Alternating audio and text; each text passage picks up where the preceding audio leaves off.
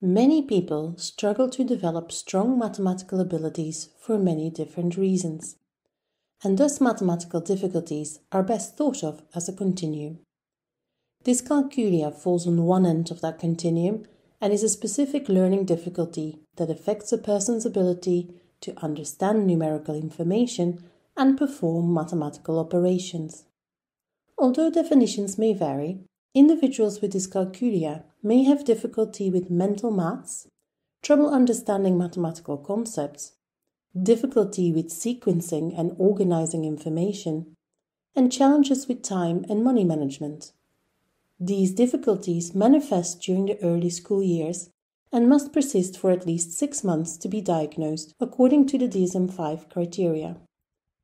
In addition, these learning difficulties cannot be attributed to intellectual disabilities, developmental conditions, or neurological or motor impairments.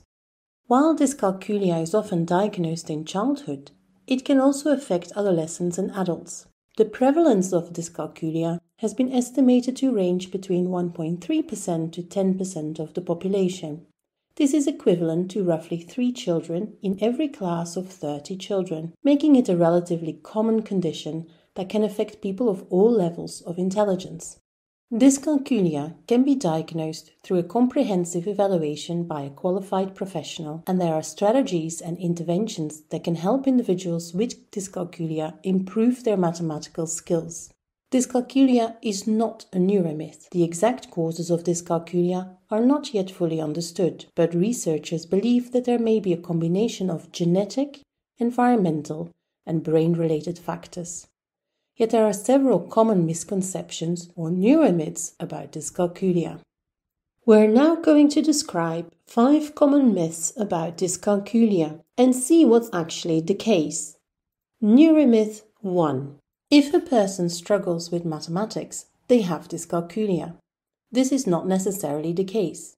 Dyscalculia is a specific learning difficulty that affects an individual's ability to understand and perform mathematical operations. This is not the same as simply having difficulties with mathematics.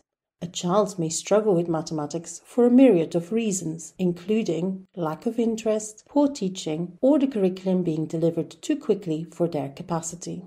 In addition, maths anxiety can be a contributing factor to difficulties with maths, but it doesn't mean people with maths anxiety necessarily have dyscalculia. Most people with dyscalculia have specific mathematical difficulties, such as understanding how numbers relate to each other or number sense, memorizing and retrieving numerical facts, as well as making counting errors.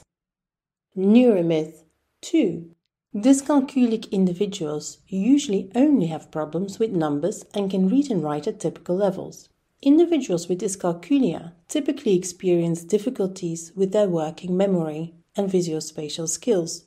As such, dyscalculia impacts all areas of the curriculum, not just mathematics. In addition, up to 20 to 60% of those with dyscalculia also have other learning difficulties, such as ADHD, dyslexia, and dyspraxia, with co occurrence of maths and reading difficulties as high as 70%. It is thought that the overlap between dyscalculia and other learning difficulties is caused by shared difficulties with procedural learning, the learning and control of skills and habits.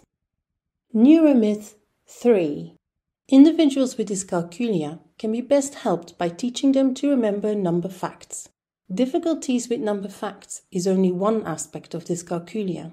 Although the actual cause of dyscalculia has not yet been established, many individuals with dyscalculia show difficulties with reasoning about quantities, and with a sense of what numbers represent. As such, they may need targeted interventions and support to succeed in academic and everyday life. Additionally, accommodations such as extra time for assessments, use of a calculator, or modifications to assignments can help students with dyscalculia to succeed in the maths curriculum. While there are strategies and interventions that can help individuals with dyscalculia improve their math skills, there is no cure for dyscalculia, which is a lifelong difficulty. Neuromyth 4. It is often thought that individuals with dyscalculia are impaired across the entire maths curriculum. Indeed, most individuals with dyscalculia may struggle with basic arithmetic, number sense, and mathematical reasoning, which can impact their ability to learn and apply maths concepts across different areas of the curriculum. Anecdotal evidence suggests that some individuals with dyscalculia can be very good at geometry and algebra, but there is scant evidence on the knowledge of geometry and algebra in individuals with dyscalculia.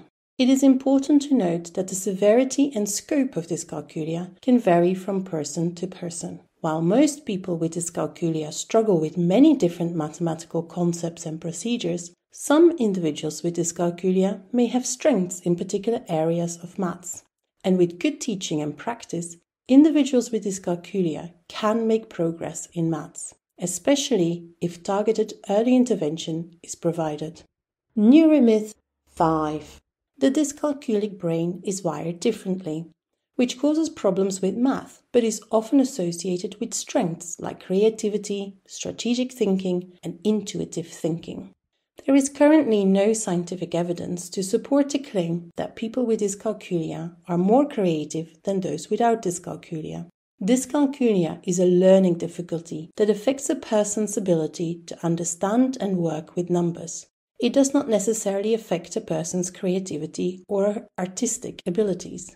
However, it is worth noting that people with dyscalculia may have developed compensatory strategies to deal with their difficulties in mathematics which could enhance their creativity in other areas. For example, they may have developed stronger verbal and visual reasoning skills, or they may have developed a more intuitive approach to problem solving. These compensatory strategies could potentially translate into enhanced creativity in certain domains.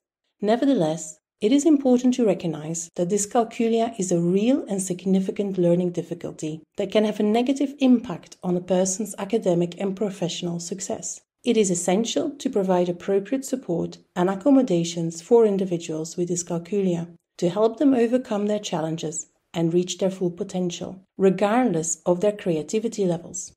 In summary, although the exact causes of dyscalculia are not yet fully understood, dyscalculia can have a profound impact on people's lives, especially in terms of educational outcomes and financial success. Early intervention is required to help people with dyscalculia to achieve their full mathematical potential. However, neuromyths can prevent timely diagnosis, create stigma, and impact on intervention practice. Thus, it's important to continue our understanding of dyscalculia and reflect on any beliefs, knowledge, and practices. Further research on dyscalculia, especially to how it manifests itself over time, is required. Thank you for your attention and don't hesitate to check out more of our videos.